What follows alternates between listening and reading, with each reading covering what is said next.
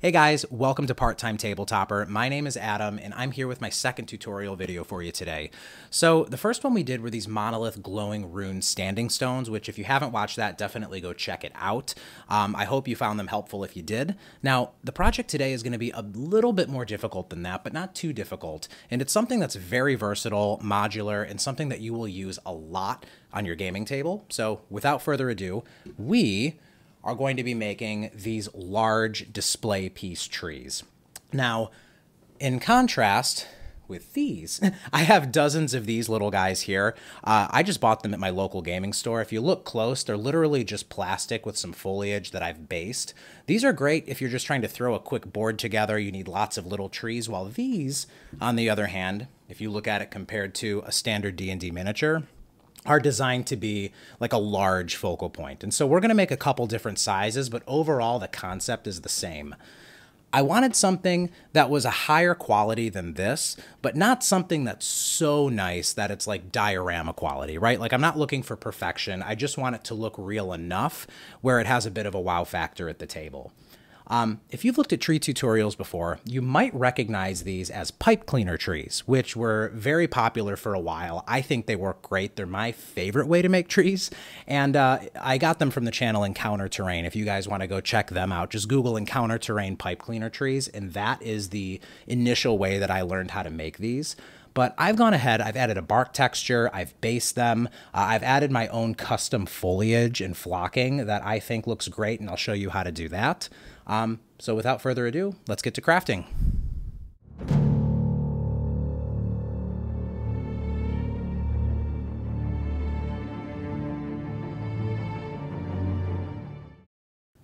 So the first thing you need to do is grab a big handful of pipe cleaners. Now, take a section of those pipe cleaners, put them together, and start twisting them all together to make the trunk of your tree. Now, I'm heading to the bottom where I'm sectioning off the bundle into a couple different smaller sections, usually three or four, uh, and I'm going to start twisting those together to make roots. Make sure you break off and twist as many little sections as you can to make it look like you have a bunch of root sections veering off. Now we're going to do the same thing at the top of the tree, and if you want like I am here, you can even pull a couple of the pipe cleaners aside to make a little side branch coming off. You can do that one or two times, and then take the remaining bundle and twist it further upwards so that you still have more trunk. This is roughly what it should look like when you're complete. Now let's work on the base. I'm going to take some sections of MDF board, and I've decided I want my trees to be on top of rocks. So I'm taking a rock plaster mold from Woodland Scenics, and I already had a couple on hand. This is how they turn out when you're done. Now, with those plaster trees, I'm not showing you how to make them, but you can definitely just follow the instructions on whatever plaster you buy, pour them into the mold, and you'll get some rocks. Now, I'm taking that MDF board and cutting it into a relatively circular shape. The reason for that is you want it to look a bit more natural, but also it prevents the wood from warping when you put more materials on top.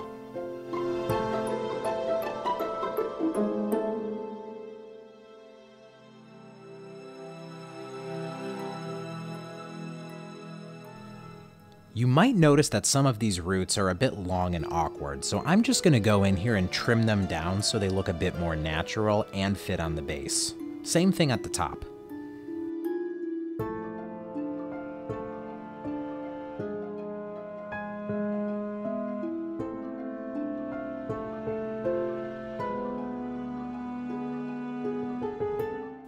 We need to fasten this rock to the base. So I'm gonna take a hot glue gun, just put a little bit of hot glue all around the edges and in the middle, making sure that every possible area is pressed down, and we're gonna put that onto our MDF board.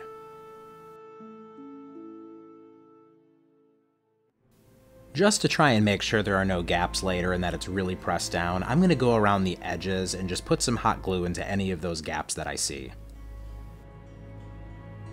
Now, unless you want your tree to be fluffy, which I'm sure you don't, it's time to melt down these pipe cleaners. We're going to take a heat gun and just slowly put that all around every inch of this pipe cleaner tree. And what you're going to see that that does is all of those little fuzzy sections are slowly going to melt down onto the wire to give it more of like a firm and tree-like texture. Now, if you don't have a heat gun, one thing I've done in the past before I owned one was using a lighter, like a grill lighter or a pocket lighter, and just running that flame all along the edge, and you will produce the exact same result.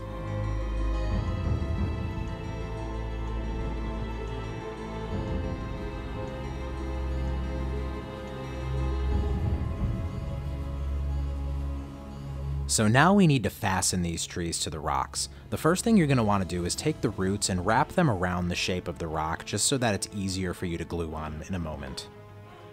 Now, take a hot glue gun and run it along the bottom of all of the roots, and before that glue dries, just take the tree, press it down against the rock, and wait for it to dry. Wipe off the excess too, just so you don't have any obvious glue spots when it dries.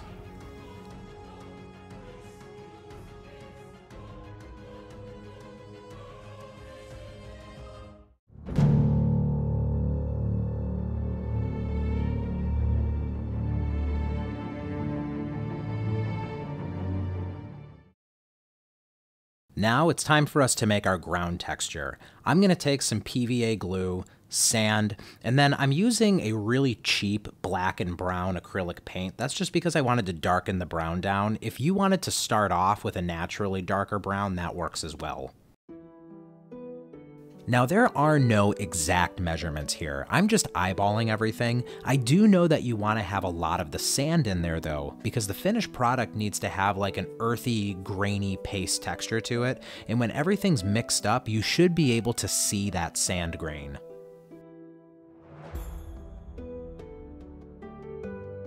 So now I'm going to do a little bit of backtracking. I should have sanded the edges of these boards down before I put the trees and the rocks on there. The goal is to just round them out a little bit and even give them a slope so that they blend in with your board better. Now, let's apply that ground material.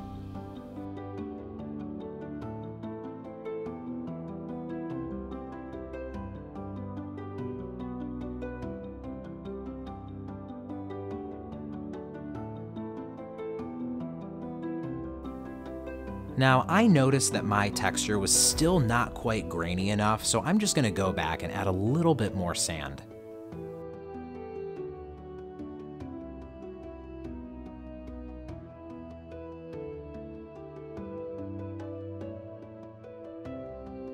Now, I wanted some rocks on here, so I just decided to go outside and grab a few pebbles to put on the base. Now while it's almost dry, here's a quick close-up of what everything should look like in person.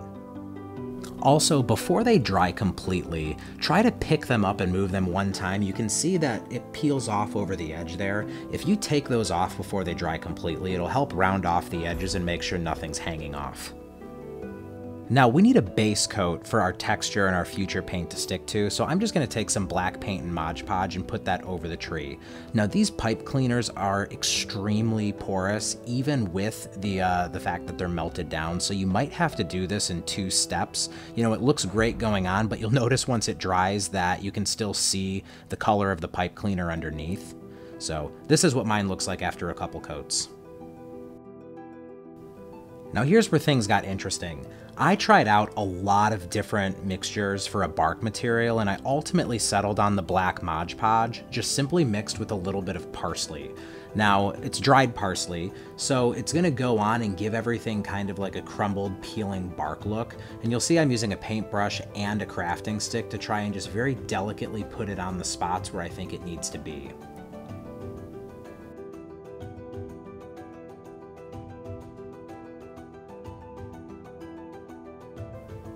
So I didn't get it on video, but I did go back and spray paint all of the trees with a black spray paint just to try and really harden up that bark material one more time.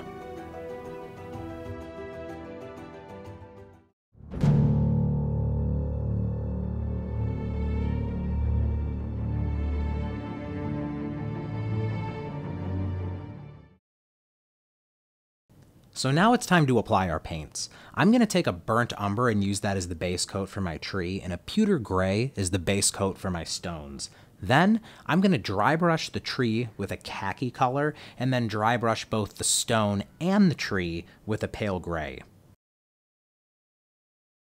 Then the tree is going to get a black wash and the stone is going to get a brown wash. Now, I didn't choose to do this, but you could go back over the stone one more time after the fact with a white dry brush.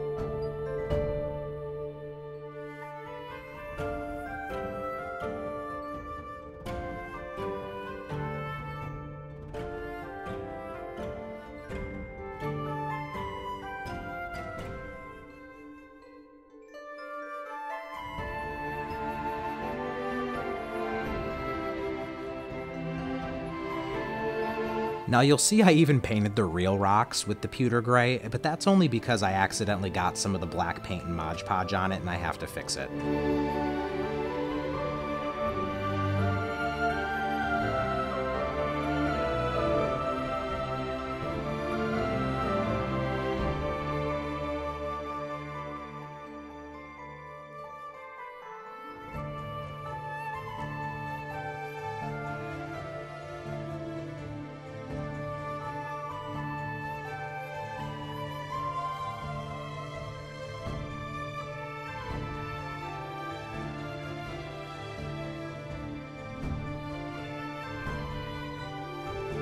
Now here comes the black wash on the tree to really bring everything together. Now I know when it goes on it looks a little bit too dark, but I promise you once the foliage is on there and the black wash dries, it's going to look fantastic. Now I brown washed the stones and didn't show that, but now that you've done that, take a khaki paint and just dry brush over that bark one more time to bring those brown tones and highlights back out.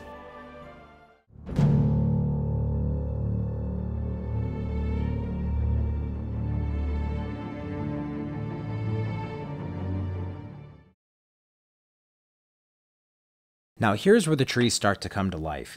Take some polyester stuffing, the stuff they basically use to make pillows and stuffed animals, and spray paint that with just a little bit of like a dark forest green color. We're also going to need some spray adhesive and some dried oregano.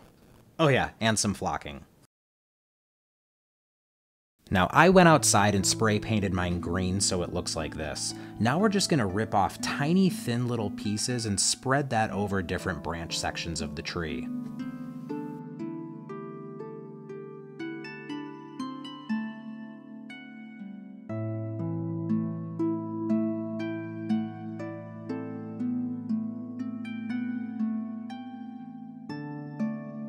Now that you know where everything is going, get a hot glue gun and go back and put a little bit on all of the branches where you know the stuffing is going to go.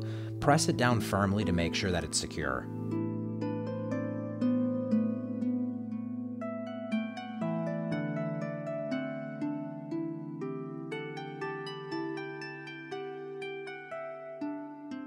Pour some of that dried oregano into a bowl, get out the spray adhesive, shake it up, and just spray a little bit onto the sections of styrofoam where you want your flocking to go.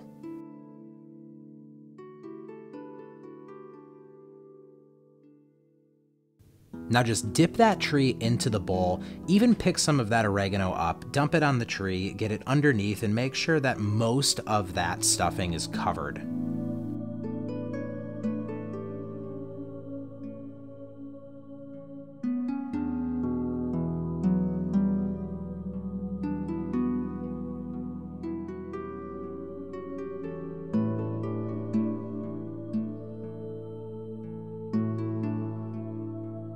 I spray painted over all of it one more time with that green. If you don't do that, that oregano over time is gonna dry out and start to look really bad. Now, I'm actually going to take some forest green paint in a wide brush, and I'm just going to dip that brush into the paint, take some of it off, but not enough to do a dry brush, and just kind of dab it onto the top of all of the sections of leaves to give it a bit of a gradient effect.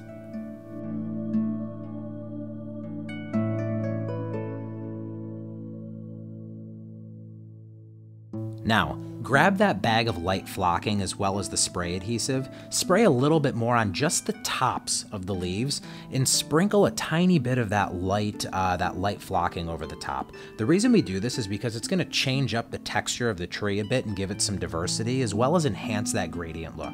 Now, I ended up pouring on a little too much, so I had to go back and brush it off to make it not look as awkward, but overall the effect worked beautifully.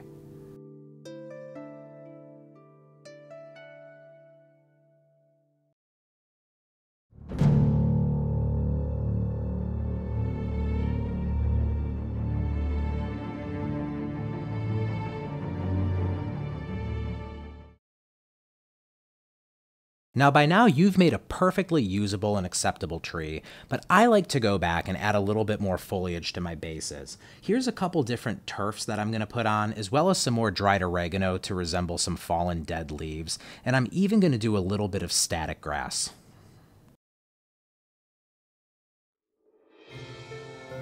Grab a tacky glue, a PVA, or some kind of a basing glue and just kind of put it all around the bottom where the dirt areas are. Then take an old brush or a crafting stick and just kind of spread that around to make sure that it's not going to collect in any specific spot. Now, I'm going to start with the dried oregano and just slowly sprinkle a little bit of it on to resemble some fallen dead leaves. Now, I'm going to take some of that Woodland Scenics blended turf to give it also a little bit of like a dead grass or a mossy look. You could also use some of the bright green if you choose to go that route. Now here's my static grass applicator.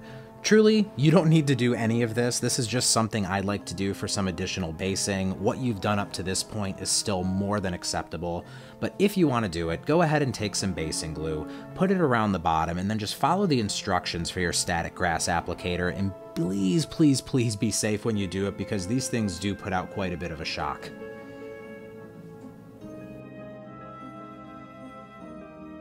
And here I'm just cleaning up some of the edges.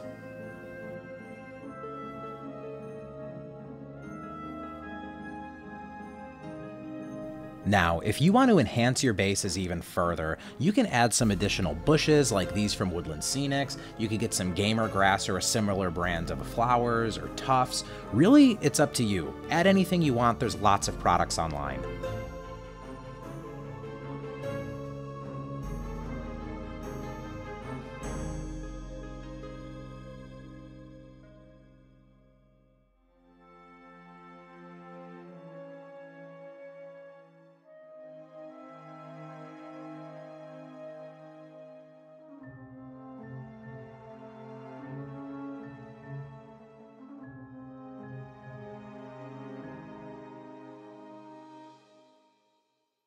And that's it. I hope you guys love the way that your trees turned out because I know I'm super happy with the way mine did. If you guys did like this video, please hit the like button because it helps other people find it and it lets me know that you guys enjoyed what you saw. And if you want to see more tutorials, which I definitely have more coming in the future, please hit the subscribe button. Uh, and I look forward to making whatever the next project is. So in the meantime, enjoy your new trees and I will see you guys soon. Bye.